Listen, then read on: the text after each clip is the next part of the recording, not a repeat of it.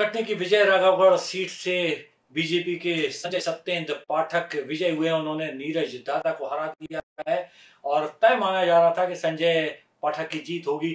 संजय जिस तरीके से अपने क्षेत्र में वर्क करते हैं, जिस तरह का उनका कार्यप्रणाली है वो लोगों को बहुत प्रभावित करती है। और देश में संजय पाठक एकमात्र ऐसे नेता हैं जिन्होंने चुनाव से पहले चुनाव लड़ूं या न लड़, न लड़ूं, इस पर मतदान कराया था, इस पर जनता की राय ली थी, जनता से पूछा और उन्हें तय किया था कि जब पचास फ़ीसदी से ज़्यादा लोग उनके पक्ष में होंगे, तभी वे टिकट मांगेंगे, तभी वे चुनाव लड़ने मैदान में उतरेंगे। और उनको उस समय भी पूरा मतदान प्रक्रिया अपनाई गई।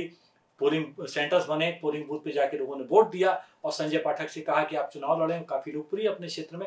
उसके बाद संजय पाठक चुनाव लड़े और आप देखें कि वो विजय हुए हैं और उनकी जीत को लेके कोई अचंबा नहीं है, क्योंकि उनकी जीत तय थी कि वो जीत, जीतेंगे। अगर वहाँ से नीरज जीत जाते तो एक बार चौंकना पड़ता, एक बार सोचना पड़ता राजनीति के बारे में किस दिशा में जा रही है।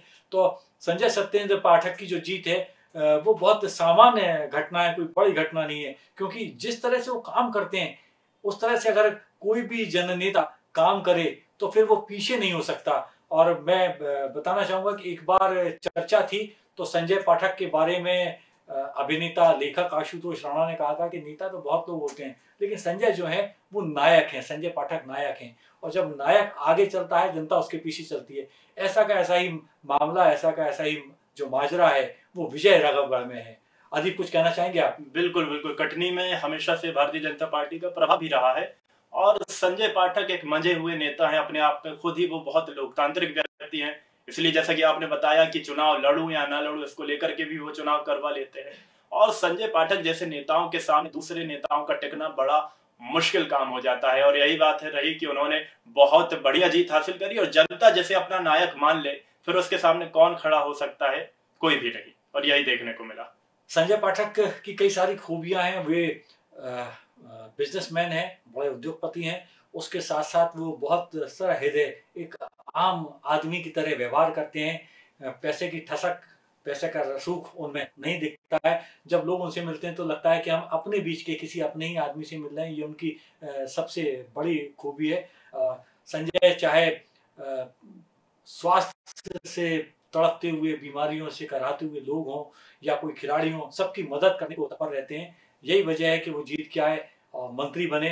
हालाँकि उन्होंने अपना पॉलिटिकल कैरियर कांग्रेस से शुरू किया था, लेकिन वो बीजेपी में आ गए, बीजेपी में रम गए, बीजेपी में रच बस गए। और मुझे लगता है कि संजय पाठक जैसे व्यक्ति को हमेशा कोई बड़ा ऐसा मंत्रालय देना चाहिए कि जहाँ वो खोलकर काम कर सकें, क्योंकि उनके पास ईश्वर का दिया हुआ सब कुछ है। उनके पास उनको काम मिलेगा तो मुझे लगता है कि वो उस काम को भी नई ऊंचाइयों तक पहुंचाएँगे। उनको बानवे हज़ार दो सौ तेरह वोट विजय राघवगढ़ के लोगों ने दिए हैं। वहीं जो नीरज हैं, उनको काफ़ी कम वोट मिले हैं। उनको उनहत्तर हज़ार एक सौ बयासी वोट मिले हैं।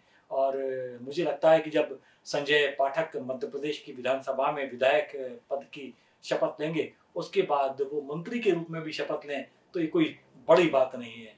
संजय पाठक और अन्य राजनीति के भांति भांति के किरदारों के बारे में हम चर्चा के इस दौर को जारी रखेंगे। आप देखते रहें दखल न्यूज़।